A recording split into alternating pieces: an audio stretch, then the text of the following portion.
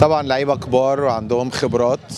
الزمالك انتدبهم عشان خاطر خبراتهم وعشان خاطر ان هم حصلوا على بطولة أفريقيا مع الوداد.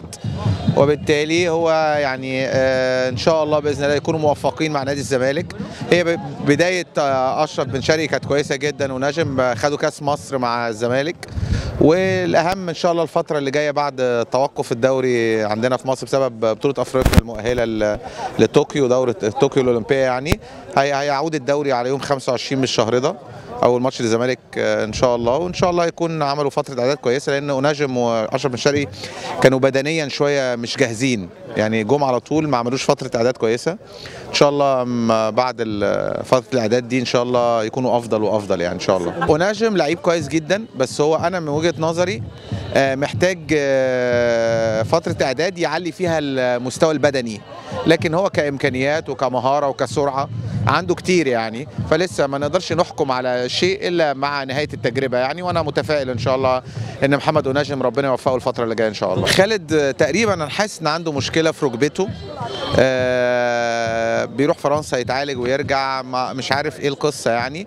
لكن طبعا هو لغاية دلوقتي ما ما بينش قيمة خالد بوطيب كلاعب لمنتخب المغرب وكهداف المغرب في تصفيات كأس العالم و...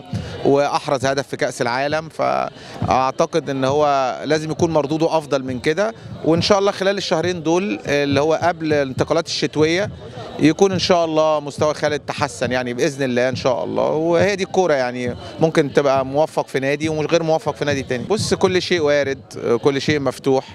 يعني أنا على حد علمي هو بيبحث عن عرض أوروبي يعني سواء في فرنسا أو تركيا. العودة للوداد قد تكون برضو مطروحة.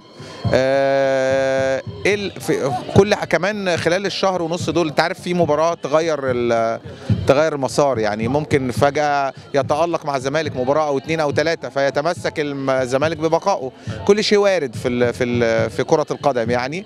آه، لكن هو حتى الآن حتى الآن آه، غير مقنع بالنسبة للجمهور الزملكاوي وأتمنى إن شاء الله الفترة الجاية إن هو يحاول يرجع تاني لمستوى خالد الطيب بص آه، معلوماتي كاسونجو كابونجو لعيب قوي بدنيا جدا جدا. والله أعلم يعني يعني ما أقدرش أتدخل في ده بس على المستوى الطبي قبل ما يسافر كان سليم ما فيهوش أي حاجة. يعني الكلام اللي بيقال إن بعد عودة أيوب الكعبي آه، كإعارة مليون دولار مبلغ كبير جدا أعتقد يعني إعارة من الصين تقريبا الله أعلم كان بيقال إن هو بمبلغ كبير.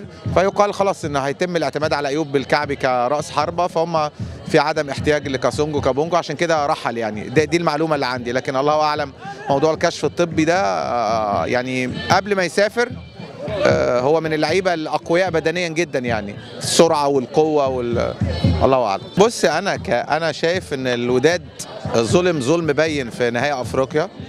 لأن طبيعي والمنطقي إن أنت ما بتعمل تقنية الفار في آه، في الوداد واللي تسببت في إلغاء هدفين أو هدف قد يكون سليم أو غير سليم مش دي قصتي لكن لما أجي أحرز هدف في سليم مليون في المية في الترجي وأفاجأ أن الدولة المسؤولة و- والنادي المسؤول عن آه، وجود تقنية الفار والاتحاد الأفريقي المسؤول عن تطبيق تقنية الفار في المباراتين يكون المباراة الثانية معطلة. ده شيء لا منطقي ولا عقلاني خصوصا أن الوداد أحرز هدف سليم مليون في المية وتم إلغائه فمن آه، شيء في المساواة في العدل هي إن تقنية الفار تكون موجودة في في المباراتين وإن لا تلعب المباراة الثانية بدون وجود تقنية الفار. على فكرة تقنية الفار في المباراة الثانية قد كانت ممكن تتسبب في ضربة جزاء على الوداد على فكرة. يعني كان في في الشوط الأولاني كرة جت في إيد أحد لاعبي الوداد لكن إحنا يعني ال- النهاية